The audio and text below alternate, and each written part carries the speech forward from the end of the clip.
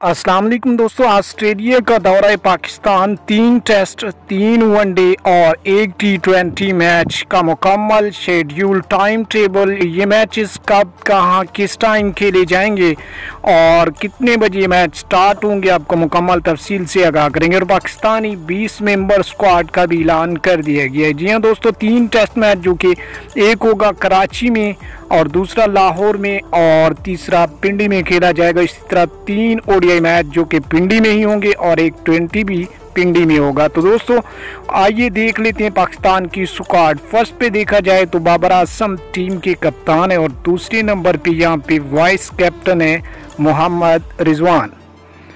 और number three पे इस स्क्वाड में शामिल किया गया है अब्दुल्ला शफीक को।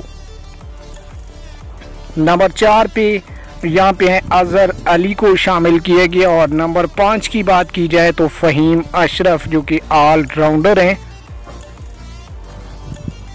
और नंबर छः पे फवाद आलम का नाम सामने आया है और नंबर सात की बात की जाए तो हारिस राउफ को स्क्वाड में शामिल किया गया है।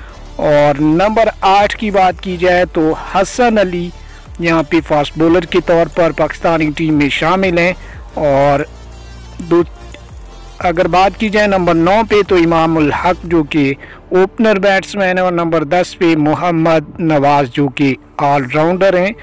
और नंबर ग्यारह पे नुमान अली को रखा गया है स्क्वाड में। अब देख लेते हैं नंबर बारह पे, जो कि सजाद खान है, जिन्होंने पिछले मैचेस जो कि सीरीज़ खेली गई थी, उसमें इसने दस विकटें भी ली थी। और नंबर तेरह पे साउद शकील। और नंबर चौदह पे शाहीन शाह आफरीदी। नंबर पंद्रह पे शान मसूद।